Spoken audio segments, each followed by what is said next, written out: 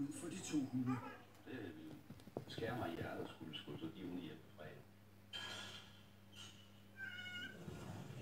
Ved I, hvem der skal have fat i, hvis vi skal lave på øh, GPS'ene hernede, sådan, så de kan få skrevet, at øh, bagagen kommer fra Netsport 8? Hos Martin i ankomsthallen kører bagagen stadig, men nu er skærmene gået i stykker. Det betyder, at passagererne ikke kan se, hvilke bagagebånd deres bagage er på.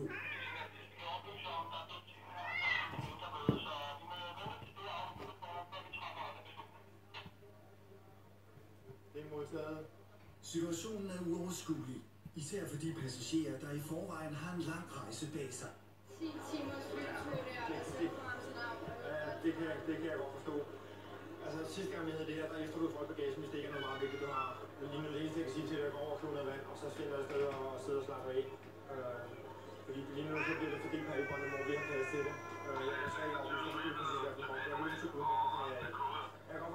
de er trætte, de er nok ofte sure, og det er ikke så oplevelse det her. Men altså, vi prøver at gøre det så, så gnidningsfrit som overhovedet muligt.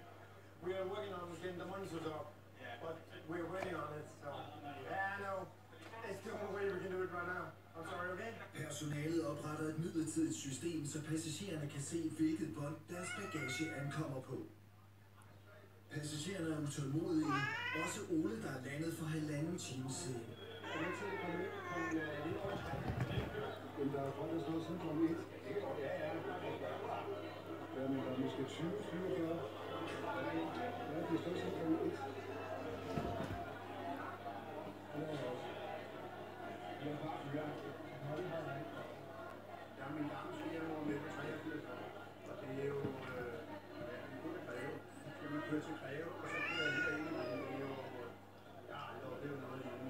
Passagererne er, er selvfølgelig meget frustrerede, og de har haft, øh, vi har haft svært ved at give dem den information, som de skal have.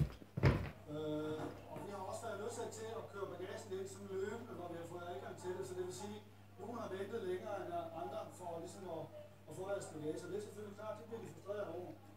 Øh, men det, det, det er de vilkår, vi har været